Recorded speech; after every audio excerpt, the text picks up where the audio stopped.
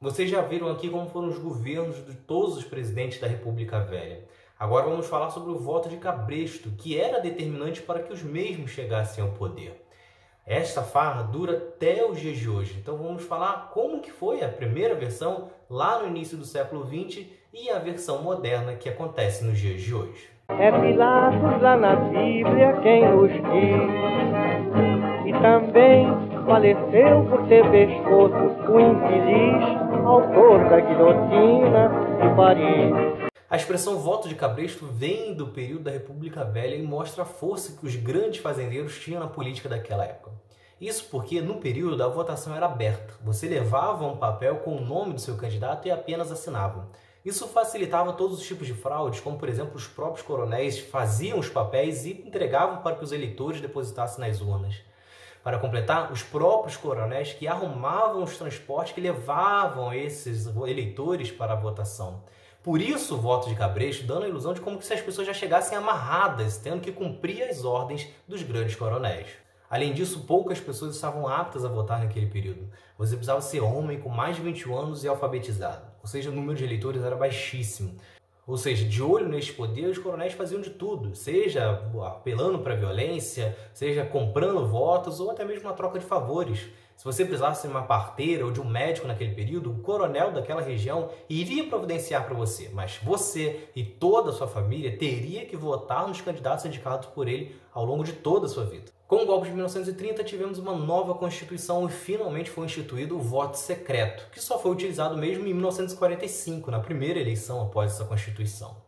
Ainda assim, existem registros até os dias de hoje de votos de cabresto, políticos prometendo empregos, cestas básicas, um asfalto na sua rua, um dinheiro para o seu time do campinho, ou até mesmo fiéis que usam o poder né, da religião para indicar os seus candidatos.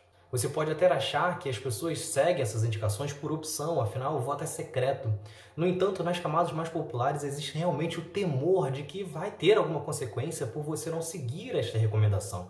Até porque existem casos realmente de candidatos que perderam seu poder, que realmente usaram a violência nas suas cidades. Isso é tão forte que um estudo da Folha realizado em cima das eleições de 2000 mostrou que nas cidades que tinham no máximo 50 mil eleitores, 81% dos prefeitos eleitos eram apoiados pelo governador da sua região. Comparados com cidades que têm mais de 100 mil eleitores, esse número cai para 51%. A força pode ser vista ainda em muitos outros números, como por exemplo, dos 40 deputados federais mais novos que temos hoje, 32 são filhos ou parentes de políticos veteranos. Além disso, da eleição de 2016 para cá, 49 governantes perderam seu cargo por terem sido pegos com publicidade irregular ou compra de votos. Só que a versão moderna do voto de Cabresto tem novos coronéis e que não estão exatamente na política. Muitos deles são donos de empresas que buscam a aprovação de algum projeto ou ganhar alguma licitação ou até mesmo perdão da dívida. É o caso, por exemplo, da Avan, que no ano passado fez campanha para Jair Bolsonaro. Até aí tudo bem, o problema é que ele também coagiu seus funcionários, fez vídeos ameaçando, dizendo que a, a, empresa poderia ser fechada, algumas lojas seriam fechadas, algumas pessoas seriam demitidas, caso o resultado não fosse esperado.